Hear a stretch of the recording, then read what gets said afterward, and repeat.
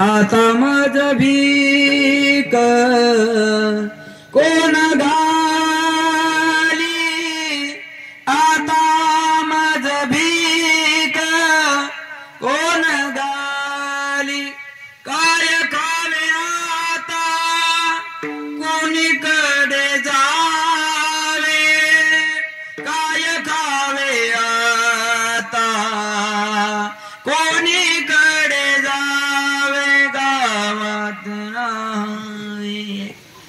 कोण्यावळे महाराज म्हणले काय खावं कोणीकडे जावं? गावातल्या लोकांनी राग राग केला बघा. ऐका या त्रासाला महाराज एक दिवस कंटाळले. कधी ना कधी कोणत्या ना कोणत्या त्रासाला माणूस कंटाळत असतो बरं का? लक्ष देऊ नये का माया हो तुम्ही बोला जरा.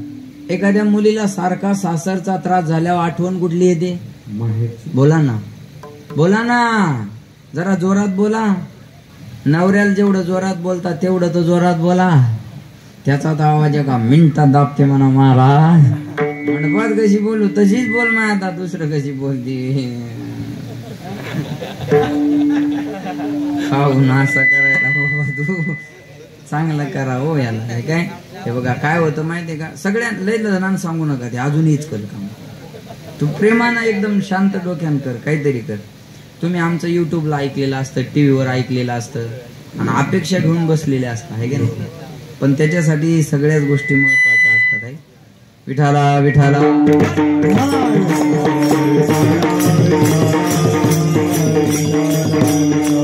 एखाद्या मुलीला सारखा सासरचा त्रास झाला की माहेराची आठवण येते बघा. माया हो माझ्याकडे लक्ष द्या.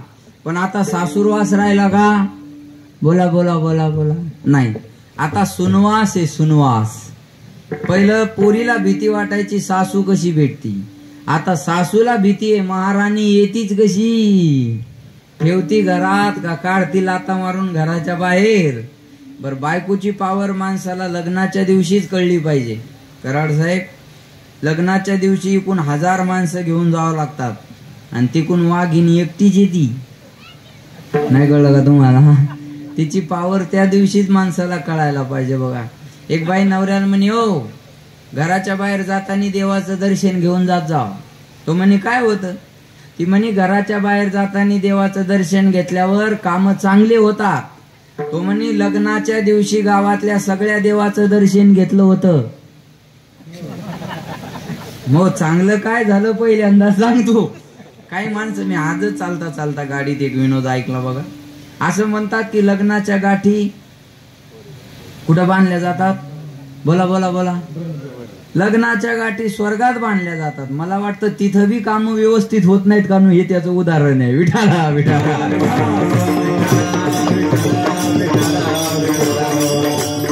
एखाद्या मुलीला सासरचा त्रास झाला की माहेराची आठवण येते आणि ती माहेरातलं कोणी भेटलं की विनंती करते काय? अ चुकवाय बडा जाच तुमच्या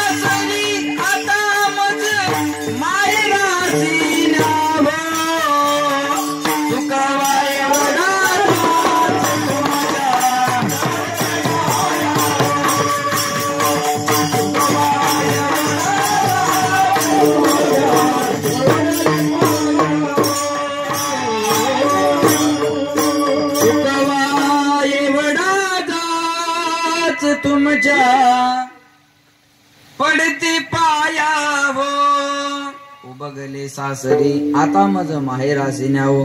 मला माझ्या माहेराला घेऊन चला. आणि तुकाराम महाराज साधू संताला विनंती करतात आपुल्या माहेरा निरोपया संता हाती आला साधू संताला विनंती करतात काय?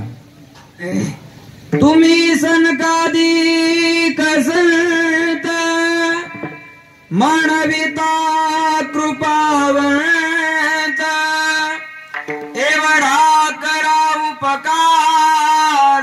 सांगा देवा नमस्कार. तुका म्हणे मजा आठवा. मूळ लवकरी पाठवा. एवढा करा उपकार. सांगा देवा नमस्कार. अनाथा पर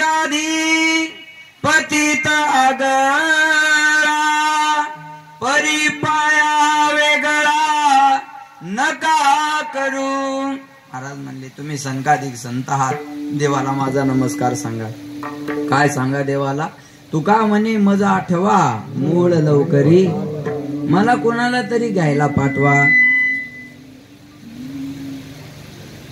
मला कोणाला तरी घ्यायला पाठवा लक्ष देऊन ऐका. का मला कोणाला तरी घ्यायला पाठवा. तुकाराम महाराजाचा निरोप जगाच्या मालकाला दिला. आणि ऐका जगाचा मालक तुकोबा राहायला घ्यायला आला. लक्ष देऊन ऐका बरं का. पाहुणे घराशी. आजी आले ऋषिकेशी. काय करू उपचार कोप मोडकी जर्जर. दरदरी तपान्या माझी रांदिलेल्या कन्या. देवाला खायला कन्या दिल्या. ऐका बरं लक्ष देऊन माझ्याकडे चला. तुम्ही तुम्ही इकडे बघा ना. मा मामा? हो मामा. मामा इकडे बघा. तुम्ही तिकडे पाहिलं काय होणार नाही. माझ्याकडे बघा तुम्ही. चला. तुकाराम महाराजाला घ्यायला जगाचा मालक आला. झोपडं होतं तुकोबा राहायचं पण जगाचा मालक त्या झोपडीत येऊन बसला बरं. ऐका लक्ष देऊन महाराज. श्रीमंती कोणती असते माहितीये का? श्रीमंती कोणती असते माझ्याकडे लक्ष द्या बघा. जगाचा मालक आपल्या घरी येऊन बसावा याच्यापेक्षा मोठी श्रीमंती जीवनात दुसरी कोणती असावी आहे का नाही? अरे आयसा तो समर्थ ब्रह्मांडाचा ब्रह्मांडाचा मालक ज्याच्या घरी येऊन बसतो त्या घराची श्रीमंती किती असेल महाराज? आहे काय साधा माणूस जरी आपल्या घरी मोठा आला तर आपण म्हणतो अहो हे माणसं माझ्या घरी आले होते. मग जगाचा मालक ज्याच्या घरी आला असेल त्याच्या घरची परिस्थिती काय असेल? किती श्रीमंती तुकोबा उभा राहायची? ऐका दादा झोपडं होतं पण त्या झोपडीत श्रीमंती होती आणि झोपडं असू द्या पण मनाची श्रीमंती पाहिजे का नाही? गरीबाच्या घरावर लिहिलेलं असतं वेलकम सुस्वागतम. आणि श्रीमंताच्या गेटलाच पाठी असते कुत्र्यापासून सावध. बरं आज जावं तर कुत्र बी नसतं. लक्ष देऊन ऐका बरं का. आज जावं तर कुत्र बी नसतं मग. पाठी कुणासाठी असते काय माहिती? पाठी कुणासाठी असते सांगता येत नाही बघा.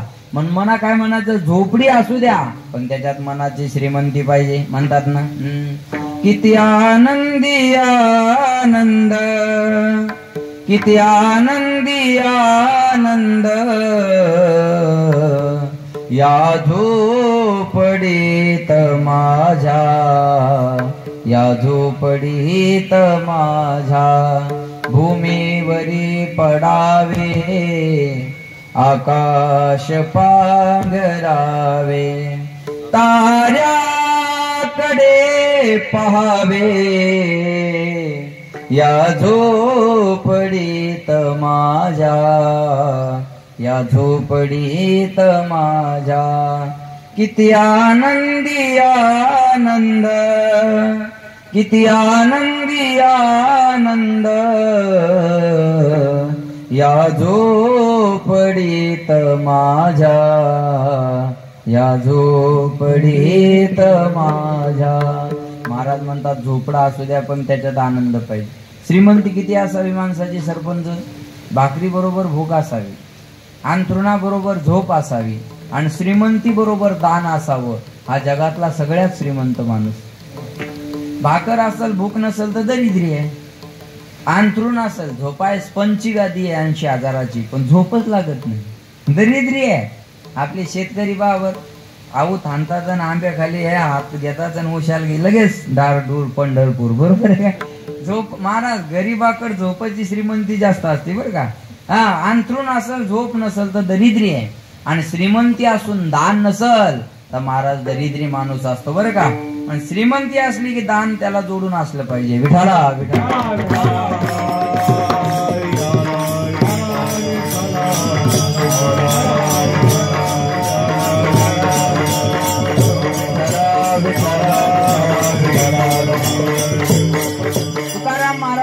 भगवंत म्हणले चला मी तुम्हाला घ्यायला आलो. तुकाराम महाराज म्हणले देवा मी एकटा येणार नाही. माझ्या बरोबर कोणाकोणाला यायचं मला जरा विचारू द्या. आणि मग महाराज आहे बघा आता तुम्ही बी पाहुणे आले का नाही बरेच इथं? पाहुणे लोक आले ना? मग ते जाता जाता म्हणले असतील का नाही?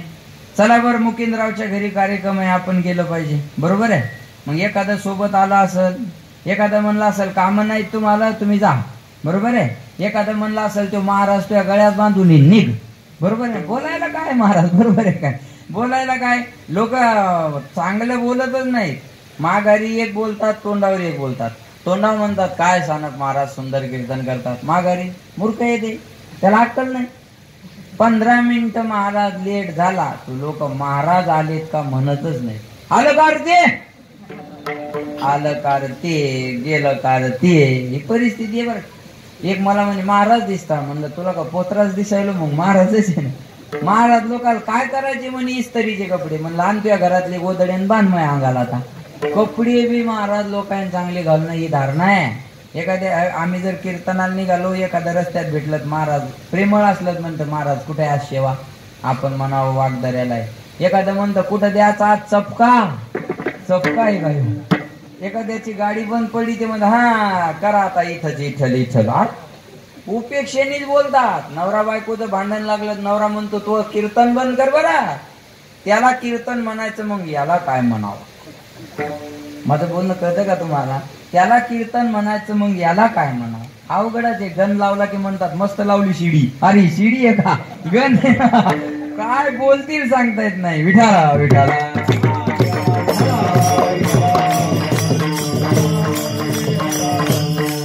बाईन मला चहा प्यायला नेलं. ऐकता का माया हो? एका बाईने चहा प्यायला नेलं. म्हणे महाराज चला चहा घ्यायला. तिथे गेल्यावर म्हणलं म्हणे महाराज चांग एवढं एवढूशे दिसतात नादर कीर्तन करता म्हणे. म्हणलं तुमचे पोरं काय करतात? तीन पोरं आहे म्हणे. एक डॉक्टर आहे एक इंजिनियर आहे आणि एक दुधाचा धंदा किराणा दुकान सांभाळताय. आणि म्हणलं चौथं चार पोरं आहे म्हणे. म्हणलं चौथं? चा- चौथं काय नाही त्याचं नाव काढू नका म्हणे महाराज. त्याचं नाव काढलं की तळपायची आग मस्तकाला जाते. म्हणलं दारू बिरू पेत का? ते केलं असतं चाललं असतं म्हणजे म्हणलं मग काय बावननाथाच्या ग्रंथाचं पारायण. बावननाथाचा ग्रंथ. त्याचं पारायण ते केलं असतं तरी चाललं असतं म्हणजे म्हणजे याच्यापेक्षा वाईट कामच नाही जगात. काय करतो तुमचा पोरगा मला सांगा मी त्याला समजून सांगेल. तुम्हाला सांगून काय फायदा आहे म्हणजे महाराज तुमच्या सारखाच बोंबलत फिरतो. बोंबलत फिरणं होय. काय बोलती? सांगता येत नाही महाराज ऐकले तुकाराम महाराजाला लोक पागल म्हणले. आपल्याला चांगलं म्हणतील याच्यात अपेक्षाच काय? अरे एका गावातून मला कीर्तनासाठी फोन आला म्हणे तुमची तारीख पाहिजे. म्हणलं कधी? म्हणे या तारखेला सुरुवात या तारखेला शेवट. पहिला फोन तुम्हाला केला एखादा दिवस बघा.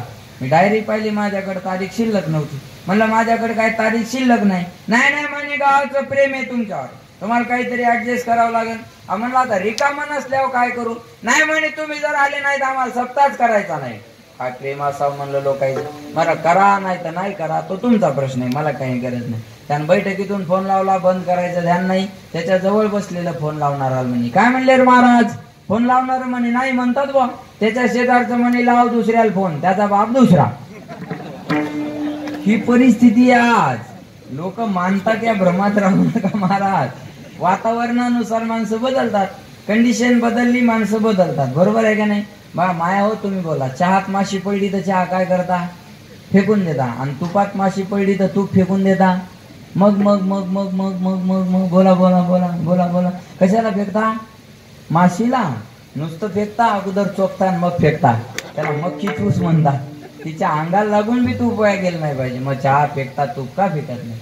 चहा पाच रुपयाचा आहे महाराज फेकायला परवडतो. तूप हजार रुपयाचा आहे माशीला फेकायला परवडतो. तुकाराम महाराजाला लोक पागल म्हणले बरं का? आणि भजन करणाऱ्याला लोक पागलच म्हणतात ना एखाद्या घरी गेलो की त्या बाया आपल्याला म्हणतात महाराज आमच्या मामाला देव आवडत नाही आत्याला देव आवडत नाही माझ्या नवऱ्याला देव आवडत नाही पण आमचं पोरग मंदिराशिवाय राहतच नाही. कस काय पागल जन्माला आलं काय माहिती? आमच्या कुळी नव्हते ऐसे हे जे पिशे जन्मले किंवा निवडले तुकाराम महाराजाला लोक पागल म्हणले. ऐका महाराजाला लोक पागल म्हणले हे विशेष नाही. महाराजावर त्याचा परिणाम झाला नाही हे विशेष आहे. विठाला विठाला.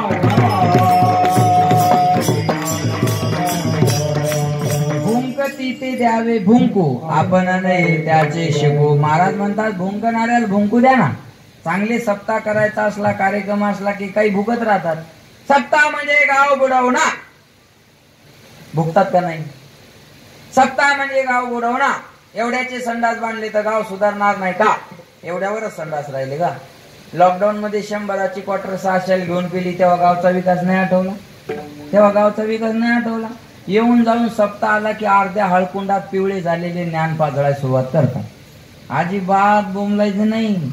धार्मिक कार्यक्रमाला मदत करायची महाराज. खोटा तीन तासाचा पिक्चर काढायचा खर्च सत्तर ऐंशी कोटी रुपये.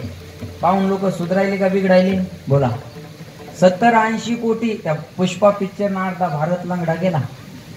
असं करायचेच बाबा सगळे. काय माहीत काय झालं काय अर्धा भारत लंगडा केला महाराज बरोबर आहे? त्याला विरोध नाही. या क्रिकेटवर आय पी एल वर अब्जावधीचा खर्च चालू आहे. त्याला विरोध नाही.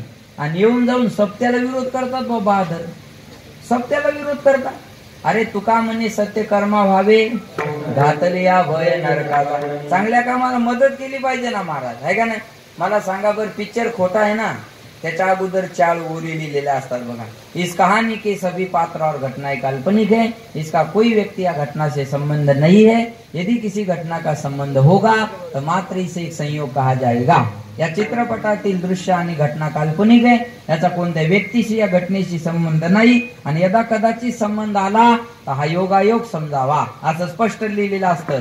तरी पिक्चर पाहताना बाया घसा घसरडतात त्या हिरोच्या माग जर गुंडे लागले तर ही घरातूनच म्हणती पळ रे पळ रे माय मरत कानवर त्याला काय होत नाही हो तू ताण घेऊ नको.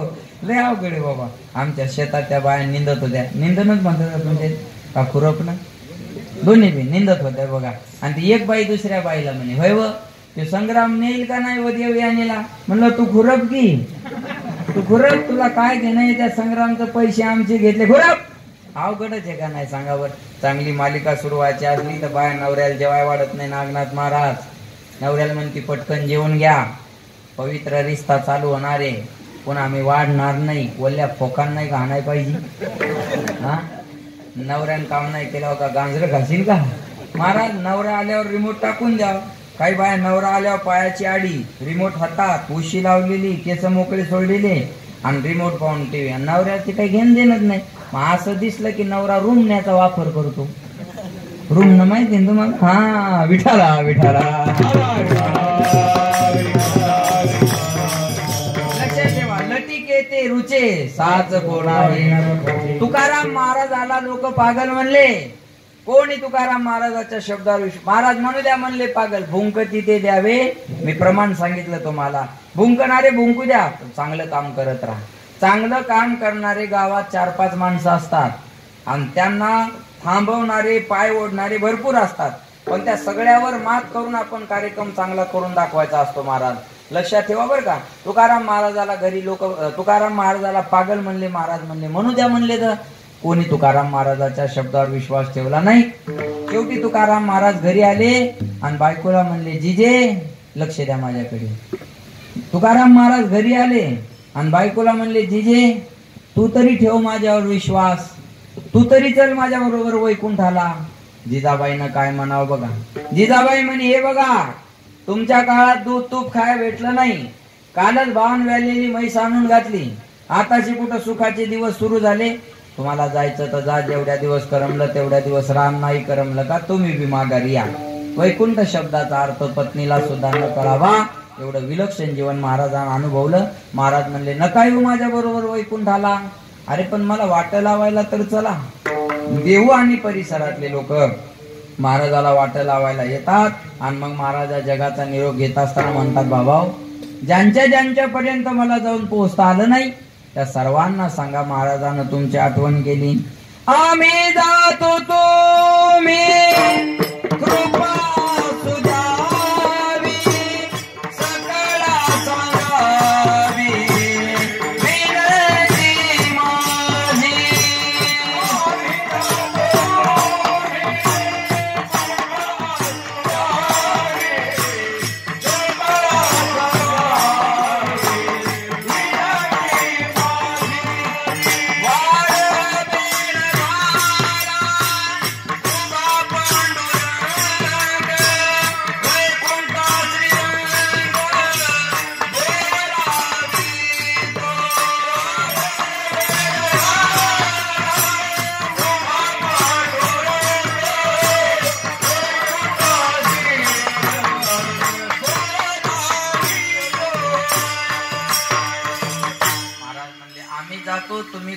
असू द्या. लोकांनी कृपा केली होती का? त्रास दिला होता?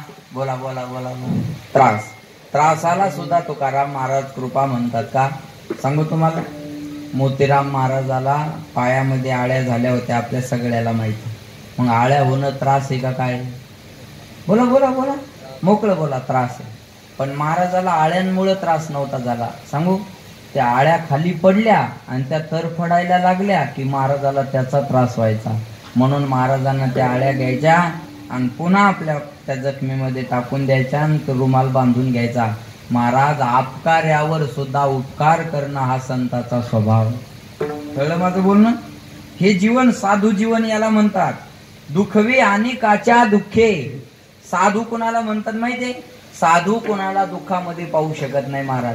याला म्हणायचं साधू. आणि त्या साधूचा अमृत महोत्सव आपल्याला पुढच्या वर्षी करायचा आहे. महाराज हे भाग्य आहे तुमचं काहीतरी. मला दादाने सांगितलं म्हणे महाराज तुम्हाला तर माहिती आहे वनजारी म्हणजे. म्हणलं मी बी तेच आहे ना. वनजारी म्हणजे वनात राहणारी जात. बरोबर आहे? वनात राहणारी जात. महाराज आपल्या इकडे जर भगवान बाबा मोतीराम महाराज हे संत झाले नसते तर आपल्या लोकांना असे दारात कोंबडी लटकवली असते महाराज. लक्षात आलं का?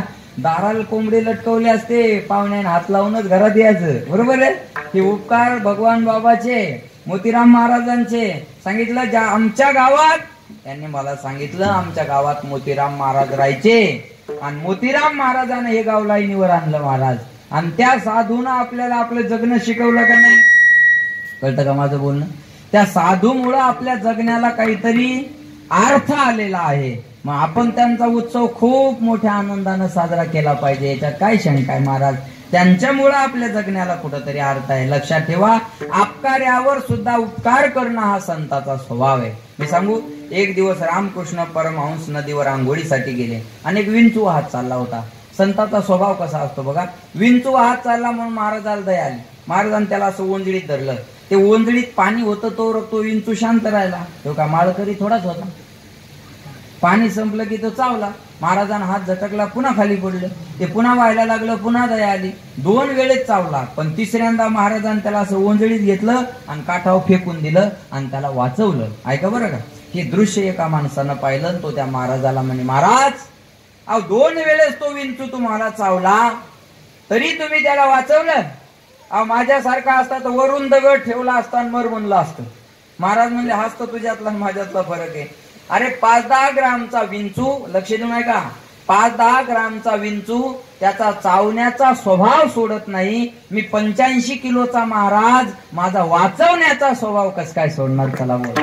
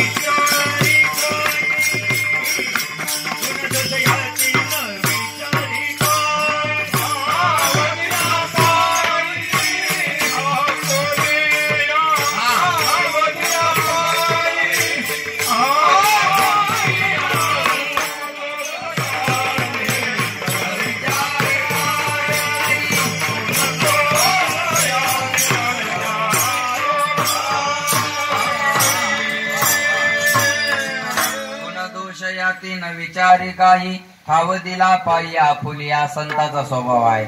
महाराज म्हणले चला आम्ही जातो पण तुमची कृपा अशीच आमच्यावर असू द्या. आणि मग महाराज जगाला सांगतात बाबा हो आता आम्ही आमच्या गावाला जाणार आहे. या पकवाजाचा आवाज द्या. आम्ही आमच्या गावाला जाणार आहे. आता हा आमचा शेवटचा राम राम तुम्हाला आहे. आम्ही जातो.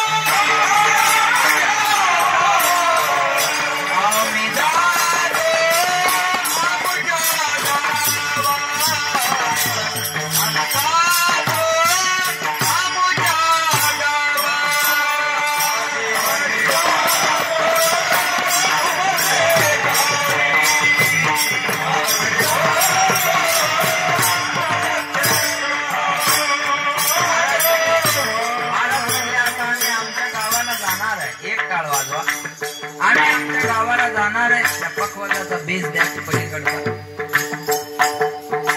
आता हा आमचा शेवटचा रामराम तुम्हाला आहे. ऐका बरं लक्ष देऊ लोक म्हटले महाराज तुमचं गाव कोणतं आहे? महाराज म्हणले आमचं गाव हे नाही. आम्ही वयकुंठ वासी वाजवा वाजवा. आम्ही वयकुंठ वासी आलो याची कारणाशी हा हा. नाही. आलो याची कारणाशी बोलिले जे ऋषी सास भावे वरताया झाडू संताची मार्ग. आड राणी भरले जन महाराज म्हणतात बुडत हे जन नदी कवी डोळा.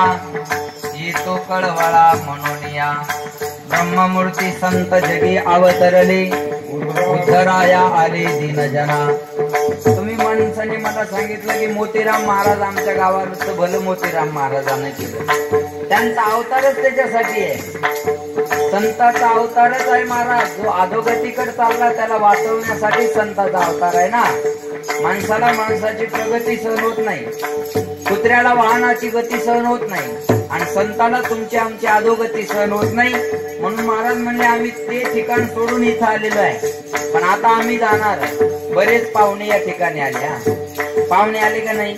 ते जाता जाता मुकिंदराव दादाला म्हणतील आलो बरं कार्यक्रमाला. ठेवा आठवण. नाही तर जाल विसरून. तसं महाराज म्हणले माझी गाथा मी तुमच्यासाठी ठेवलेली आहे. तो गाथा वाचून आपला माथा जाग्यावर आला. ऐका दादा एक अभंग वाचा रोज एक अभंग. जास्त नका वाचू आपल्याकडे वेळ नाहीये. एक अभंग एक तरी ओवी अनुभवावी. एक मला म्हणे नागनाथ महाराज.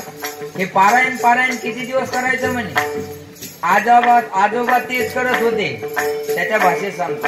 आजोबा तेच करत होते. मथाऱ्यानं तेच केलं. म्हातारं मथाऱ्यानं तेच केलं. आम्ही तेच करायचो. पोरं तेच करायचं. किती दिवस करायचं हे पारायण पारायण पारायण? त्याला म्हणलं दादा जोपर्यंत माणूस नारायण होत नाही तोपर्यंत पारायण करायचं असतं. एकदा नारायण झालं की पारायण बंद झालं तरी हरकत नाही ना. कथा मात्र एक जीवन सदा सेव्या सदा सेव्या श्रीमद भागवती कथा. सततम कीर्तयंतो माम येतंतश्च दृढतः नमश्यंतश्च माम भक्त्या नित्ययुक्ता उपासते। लक्षात ठेवा सारखं करत राहावं लागत असतं महाराज। पडिले वळण इंद्रिया काळ वेळ नाम उच्चारिता नाही दोन्ही पक्ष बाई माझी मज झाली छंद या नामाचा शिंक जांभई खोकला इतका वेळ वाया गेला। महाराज म्हणतात आमचं भजन शिंक आली तर बन जांभई आली तर बन खोकला आला तर पण एक अभंग वाचा? तो गाथा वाचून आपला माथा जाग्यावर आणा. महाराज म्हणले माझी आठवण तुमच्यासाठी मी ठेवलेली आहे. आज बरे होतो तुमचे गावे आता कृपा आसू द्यावी. महाराज म्हणले आता जाणार आहे पण आता येणार नाही. ऐका बरं. आणि जो गेला तो कधी परत आला नाही महाराज. लाख आते हे लाख जाते. लेकिन लाख आने से एक की कमी कभी पूरी नहीं होती है। लाख माणसं रोज जन्माला येतात बरोबर डॉक्टर साहेब? आणि लाख माणसं रोज मरतात. पण एकटा गेलेल्या रत्नाबाई पुन्हा पाहायला मिळणार नाही. एकदा गेलेले गोपीनाथराव पुन्हा नाही. एकदा गेलेले विलासराव पुन्हा नाही. एकदा गेलेले बाळासाहेब पुन्हा नाही. एकदा गेलेले महाजन पुन्हा नाही. महाराज एकदा एक माणूस गेला तो पुन्हा पाहायला मिळत नाही बघा. मी सांगेन तुम्हाला.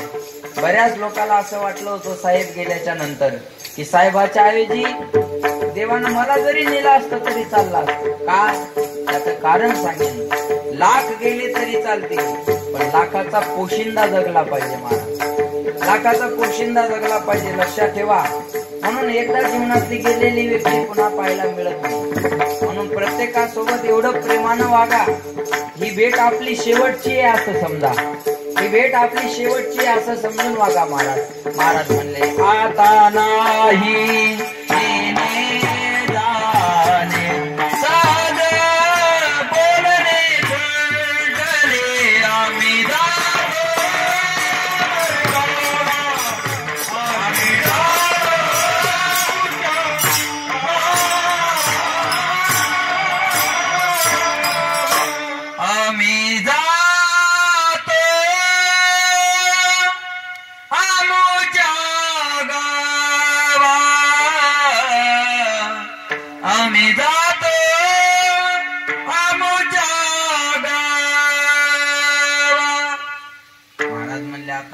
आमच्या गावाला जाणार. भगवंताच्या विमानात तुकोबाराय बसतात. मृत्यूच्या डोक्यावर पाय देतात बर. महाराज मृत्यूच्या डोक्यावर पाय देऊन तुकोबाराय सदैव गेले भूमंडळ.